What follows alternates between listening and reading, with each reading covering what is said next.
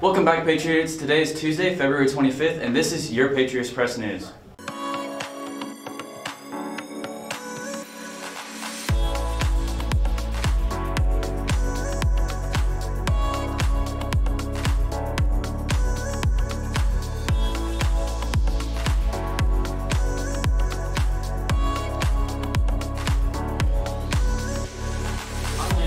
And this is your morning announcements.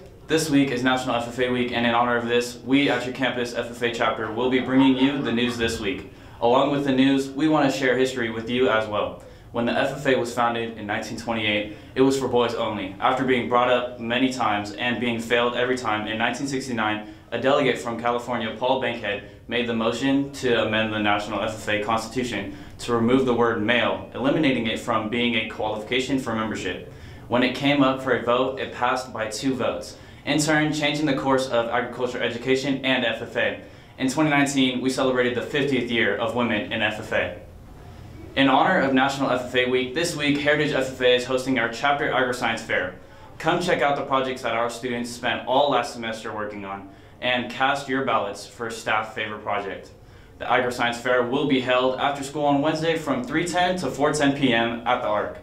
Heritage High Dance Team presents their 13th annual dance showcase on March 12th and 13th at 7 p.m. Doors open at 6.30. Tickets are $8 pre-sale starting March 9th in ASB and $10 at the door.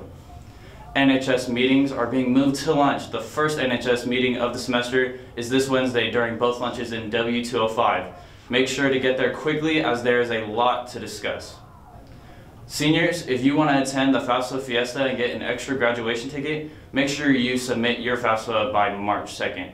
This Saturday, we will have FAFSA CADAA assistance from 8 to 12 in the College and Career Center in the library.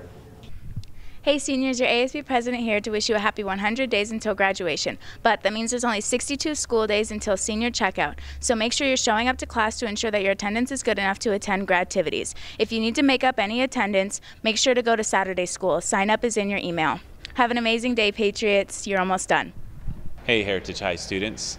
I just wanted to let you know that we do have an esports team that's pretty much the same as the Gamers Club with Think Together that takes place after school Tuesdays and Thursdays. This is a very important week because if you sign up by Wednesday, um, then you can compete in a local competition we have here Thursday taking place after school.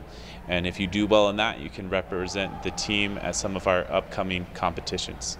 Uh, if you want more information, contact Think Together after school. And remember, we have Gamers Club Tuesdays and Thursdays after school. Thank you.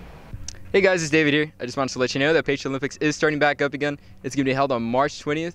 Registration is open all the way from now all the way until February 28th. For more information, you can visit ASB Counseling R143 or you can refer back to your email for more information posted there. Make sure when you're registering, you have at least six or more people to form a team. For more information, you can go ahead and visit those sites. I'll see you guys there. That's our announcements for today, Patriots. Have a great day, and we will see you tomorrow.